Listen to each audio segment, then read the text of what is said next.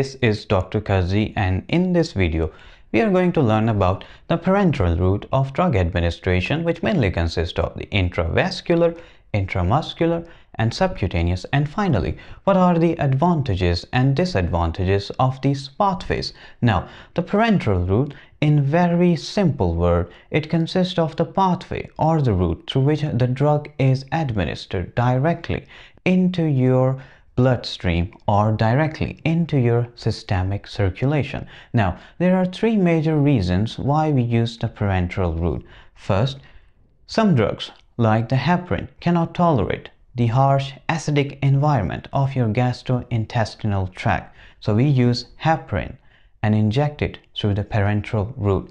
Sometimes the patient is unconscious. You cannot give him the drug through the oral route because there is always the risk. The drug the medication may go into his lungs, into his trachea and cause blockage. And in emergency situations, we require rapid action of the drug. For these reasons, we use parenteral route. Now, what are the major advantages and the disadvantages of the parenteral route? The major advantage is increased bioavailability. Now what I mean by the bioavailability? Bioavailability is the actual amount of drug or the concentration of the drug which actually reach the target tissue or the target cell. In case of parenteral route, the bioavailability of the drug is increased. Why? Because when you are injecting the drug into your bloodstream or the systemic circulation, it doesn't pass through your liver. When the drug doesn't pass through the liver, it doesn't go through the first pass effect or the first pass metabolism. We can control the dosage of the drug according to the need of the patient. If the patient required more dose of the drug, we can give him the more concentrated drug. Now, the major disadvantage of the parenteral route is, look at this diagram like I myself am very afraid of injections and needles because it causes pain, it causes fear, it causes tissue damage, it causes infections. Because of these reasons, the parenteral route is not very good in case of children because it is traumatizing them, making them afraid. And also, the administration route cannot be reversed. When you have injected the medication, you cannot take it out. It is very difficult. Now, the parenteral route majorly consists of the intramuscular, intravascular, and the subcutaneous. Intravascular because the vessels may be arteries or veins. So intravascular is again divided into intravenous and the intra-arterial. Now wonder, what drug is given to the arteries? We usually give the drug through the intravenous routes, but we rarely use the intra-arterial route. The intra-arterial route is mainly used for diagnosis purposes like in angiography. We inject the drug into the patient in order to diagnose the problem with our cardiovascular system. Now, have a look at this diagram. The skin consists of four layers, the epidermis, the dermis, subcutaneous, and the muscular layer. When you are injecting directly at the 90 degree angle, you are piercing the muscles which is present below the subcutaneous tissue. So this is the intramuscular injections.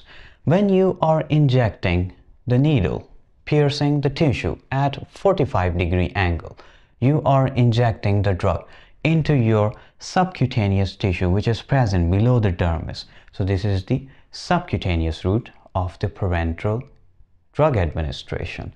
And the intravenous, you inject at 45, 25 degree angle.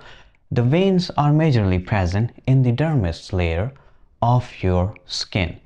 And the intradermal injection is injected at 10 to 15 degrees angle in the epidermis and the dermis layer of your skin.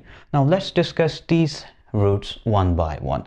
Intramuscular injections the absorption depend upon two factors, whether the solution is in the aqueous form or the non-aqueous form. If the solution is in the aqueous form, the absorption to the intramuscular injection is very fast as comparison to the depot preparation. The depot preparation or the non-aqueous form solution, its absorption is slow comparatively. Three major drugs are given through the intramuscular injection. Haloperidol, D-medroxyprogesterone. Three major muscles are involved in the intramuscular injection. Your deltoid muscle, this rotator cuff muscle, the gluteus maximus and the vastus lateralis. Now, let's talk about the intravenous injection. The drug majorly given through the intravenous injection is rocuronium. Rocuronium. Don't mind my pronunciations. I don't know the correct pronunciation of this word, rocuronium. Now, the intravenous injection is divided into the IVs and the bolus form. The bolus form raises your plasma concentration directly. You are injecting the drug directly through the syringe or the needle and the concentration of the plasma increases immediately and very fast as comparison to the IV infusions. The duration of the drug is increased but the plasma concentration is not raised very fast. Now, the advantage of the intravenous injections is it is very good for those drugs which causes irritations or through other route. For example, if someone have a problem or allergy with the oral medication, we can give him the drug through the intravenous injection. The major disadvantage is that you have to pierce the tissues and there's always the risk of infections the bacterial infection the viral infection. It causes the breakdown of the blood cells. So it causes the hemolysis and the blood components precipitation also occur through the intravenous injections.